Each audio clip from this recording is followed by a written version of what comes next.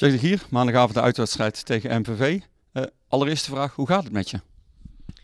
Ja, weer voldoende hersteld uh, om, uh, om op de club te zijn. En, dus het is wel fijn dat je er weer uit kan na ruim een week binnen te hebben gezeten. Dan toch de vraag, hoe heb jij de vrijdagavond beleefd terwijl de ploeg hier tegen de Graafschap aan het spelen was? Uh, nou ja, goed. Ik heb uh, via Leen natuurlijk, die mij via FaceTime uh, eigenlijk verbinding heeft gegeven met de wedstrijd. En nou ja, goed, door de wifi in het stadion was het niet altijd goed te volgen. Maar ja, deels, deel, delen van de wedstrijd wel. En nou ja, kijk, weet je, voor de rest, ik, ik, ben daar niet zo heel moeilijk in hoor. Want uiteindelijk, uh, kijk, ik vind we hebben een hartstikke leuke spelersgroep die, uh, die elke wedstrijd vol gas gaat. Ik heb echt een hele fijne technische staf waar ik mee werk. En ja, wat mij betreft moet je het dan ook gewoon loslaten. En ehm, zijn de jongens en, en de staf die hier ben bezig is, die, die, die weten wat ze doen. En het, het, contact is er steeds geweest. En uiteindelijk heb je dan ook gewoon alle vertrouwen in de goede afloop. En het is alleen wat lastig omdat je thuis zit en uh, nou ja, zeker ook als wat beelden wegvallen en je niet alles kan volgen, je dan toch, uh, ja, toch wel uh, moeilijke momenten hebt. En met name de laatste minuten, hè, daar, daar viel het beeld weg, maar dat heeft Leen mij zelfs, weet je, heet het, als een soort van radioverslaggever nog de laatste minuten doorgeloodst. Ja. En toen kwam die laatste vrije trap. En toen ben je maar snel ergens onder een bank gedoken of... Nou ja, gelukkig kon ik dat niet zien, maar...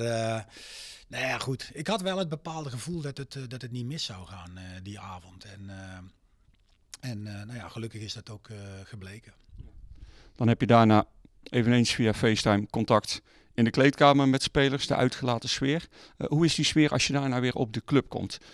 heeft die wedstrijd een bepaalde boost aan het vertrouwen gegeven? Ja, nee, maar dat, kijk, dat is altijd zo. Hè. Ik zeg wel eens, tegen resultaat kan je niet trainen. Ehm, maar goed, als je kijkt naar ehm, eigenlijk de tweede periode die we begonnen zijn bij ADO uit. Hè, een, nou ja, een nederlaag. En daarna heb je gewoon prima wedstrijden neergezet. En dan win je in ieder geval drie thuiswedstrijden op rij. En, uh, en dat geeft de groep heel veel vertrouwen. Hè. Tussendoor ja, verspil je eigenlijk bij Dordrecht onnodig wat punten. Want ja, dat, uh, dat was ook een overwinning die je op zak hebt. En dan zie je dat spelers toch, ondanks dat we heel veel blessures hadden en afwezigen, hebben met het groepje ehm, elke wedstrijd het ingevuld op een bepaalde manier. En nou ja, die jongens die, die gaan ervoor. En dan zie je ook dat je nou ja, met keihard werken. En het mooie is dat je dan in, in de thuiswedstrijden met het publiek erbij. Het publiek erachter. En uh, ja, de laatste wedstrijd tegen de graafschap zelfs met, uh, met ruim 4000 mensen die hier waren. Ja, dat je dan gewoon boven jezelf ook uit kan stijgen. En ja, daardoor ook weer vertrouwen krijgt, punten gaat halen. En ja, dan is de sfeer goed. We hebben van de week ook, nou was ik nog niet aanwezig, maar zijn we wezen padellen. er is goed getraind. En ja, dat werkt allemaal mee. Die strijd, die beleving, die vechtlust, kun je eigenlijk helemaal het hele seizoen al niks van zeggen. Wat mij vooral tegen de graafschap na die 2-1 opviel, was de volwassenheid waarmee de ploeg dat resultaat over de ja, streep trok. Ja, nou ja, dat vond ik ook. want ik, uh, ik heb die wedstrijd uiteraard teruggekeken. Ik heb ook uh, nog wat, wat commentaren gehoord, ook van de tegenpartij natuurlijk. En uh, ik vond ook dat we na onze 2-1, dat we nou ja, misschien zelfs wel 3-1 hadden moeten maken. En uh, ja, dat we dat prima over de streep getrokken hebben. En uh, we hebben dat natuurlijk de week ervoor tegen, wie was het, Utrecht geloof ik, thuis ook met 2-1 over de streep getrokken. Ja, dat zijn gewoon twee belangrijke momenten in, in, je resultaten haalt. Maar ook voor de groep, omdat we daarvoor natuurlijk die wedstrijd van Dordrecht hadden.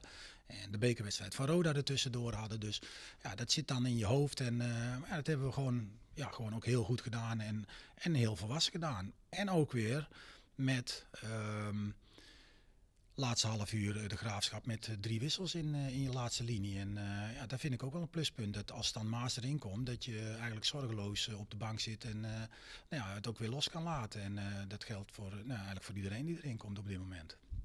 Gaston Salasiwa, maandagavond de uitwedstrijd tegen MV. Speciaal potje voor jou? Ja, dat is uh, mijn oude clubje, dus uh, wel altijd leuk als je tegen, uh, tegen oude werkgevers speelt, ja. En als we dan toch hebben over oude werkgevers, dat is tot nu toe dit seizoen goed bevallen. Ja, zeker. alleen Telstar niet dan. Maar al meer drie punten gepakt. En morgen gaan we ook weer voor de drie punten. Heb je nog contact met spelers van de MVV met wie je hebt samengespeeld? Weinig heel veel jongens waarmee ik heb, uh, samen mee heb gespeeld zijn al uh, weg. Dus uh, ik heb niet echt contact met, met bepaalde jongens van MVV, nee. Hoe kijk je terug op je periode in Maastricht? Want het is qua club, qua uh, Bourgondische sfeer, misschien wel te vergelijken met FC Den Bosch. Ja, het is wel vergelijkbaar. Uh, ik heb een leuke tijd gehad. Het was kort, uh, een jaartje gespeeld. Maar uh, ja, het is een leuke club. Nu hier in Den Bosch, hoe bevalt het? Ja, het bevalt heel goed. Ja, ik ben vanaf het begin eigenlijk al goed opgevangen door de, door de hele groep. En ja, de trainer ken ik natuurlijk al vanuit het verleden. En ja, het is een hele leuke club met ja, grote aanhang. Uh, en voor mijn gevoel begin je een steeds belangrijkere rol binnen het team ook op het veld te krijgen. Ja, ik, uh, ik, uh, ja, ik begin eigenlijk een beetje weer mezelf te worden. Het, het, heeft altijd wel een tijdje nodig. Dus ja, ik, ik, doe gewoon mijn best en ik denk dat het hele team gaat, doet het goed. En ja, ik ga gewoon met die flow mee. Heeft dat uh, en ik sprak er net met Jack de Gier over, ook vooral met het woord vertrouwen te maken door bijvoorbeeld resultaten? Ja, dat denk, dat denk ik wel. Ja, het is altijd uh, lekker als je natuurlijk punten pakt en uh, dat je dat achter elkaar doet, wedstrijden achter elkaar wint. Dat geeft natuurlijk vertrouwen aan het team. En ja, deze lijn moeten we doortrekken. Dan moet die laatste thuiswedstrijd tegen de Graafschap een aardige boost in het vertrouwen hebben gegeven. Ja, zeker. Eh, de Graafschap was natuurlijk een goede tegenstander. En uh, ja, met het publiek erachter, uh, dat we dan 2-1 winnen, ja, dat is, was een goed resultaat, ja. je bent een van de meest ervaren spelers binnen de selectie. Ik, ik, noem bijvoorbeeld een Wouter van der Steen als doelman. Maar jij ook, als je kijkt naar het aantal wedstrijden in betaald voetbal. Heeft dat een bepaalde rol voor jou in de kleedkamer? Neemt dat ook dat met zich mee? Ja, ik denk dat het eigenlijk een beetje automatisch gaat als je ja, een van de oudere spelers bent. Dat het, is het eigenlijk vanzelfsprekend dat je ja, jonge jongens helpt hier en daar. Dus uh, het is niet dat ik die rol echt ja, voor mezelf toegeëigend, maar het gaat eigenlijk gewoon een beetje vanzelf. Maar is er dan niet een fase geweest sinds je hier bij Den Bosch bent dat je rondom je keek van wow, dit is wel heel erg jong in de kleedkamer? Ja, dat is wel zo, ja. Uh, maar uh, ja, aan de andere kant is dat alleen maar goed. Dat betekent dat er veel talent is. En uh, ja, ik vind, het, uh, ik vind het wel leuk om altijd met jonge jongens te spelen. Ze zijn leergierig en werken altijd hard. Dus het is alleen maar goed. Dan wacht maandagavond de volgende uitdaging in Maastricht. Wat, wat voor ploeg is MVV? Ja, ik vind het een. Uh, de, kijk, het is een uh, best goed georganiseerde ploeg. Uh, ik vind ze heel gevaarlijk vanuit de omschakeling. Hè. Daar zal ook een beetje het gevaar liggen bij ons. Als wij aan de bal zijn, dat we ja, in ieder geval heel goed moeten opletten in, in, in de restverdediging. Hè. Ze komen er agressief, ze komen er goed uit. Hè. Ze hebben natuurlijk met Blummel en, en Reemans aan de zijkant de jongens die daar ja, gewoon in de omschakeling gevaarlijk zijn. Hè. Onberekenbare spits erbij, Zeepart erbij. Nou, ploegje zit best goed in elkaar. En Volgens mij hebben ze een puntje minder als ons, maar een wedstrijd minder gespeeld. Dus nou, dat, is, dat zal gelijk opgaand zijn. En alleen, ja, wat we net allemaal noemen, wij zitten wel in een bepaalde uh, flow met het team. Uh, er komen steeds meer spelers ook terug die aansluiten. Ja, dan, ja, dan, dan gaan wij altijd voor de, voor de winst natuurlijk. Maar het, het, is, het is wel een lastige wedstrijd.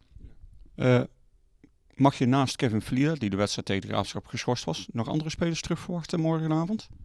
Uh, even, ja, Jis Hornkamp zit weer uh, bij de selectie in ieder geval. Ehm, nou, voor de rest volgens mij. Ja, Sebastian van Bakel die weer bij de selectie zit. En voor de rest is het een beetje het, hetzelfde. Het enige jammer is dat je zonder publiek moet gaan spelen.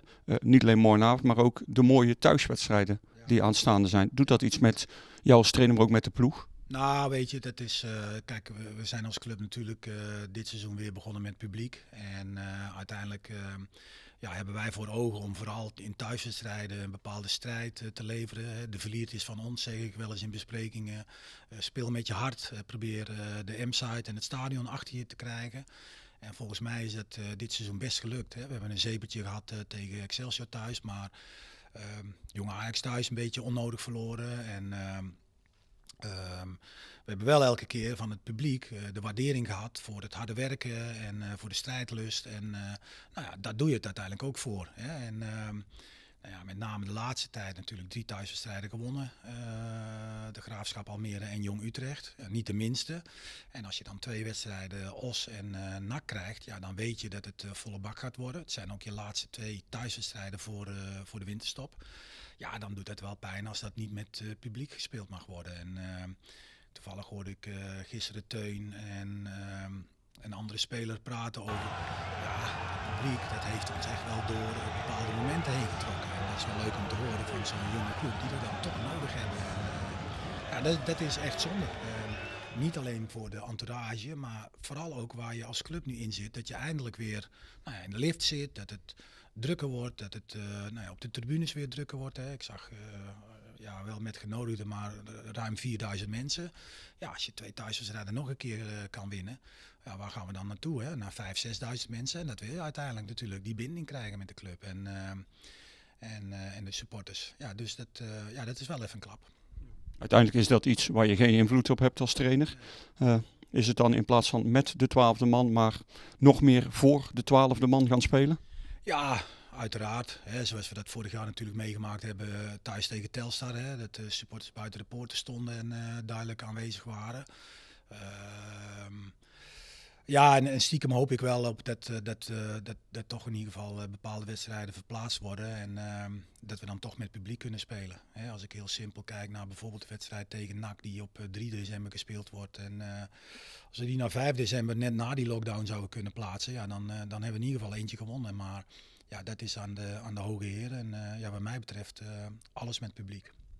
Maar dat heb je al wel laten weten, wat de voorkeur is van jullie als technische staf en als team.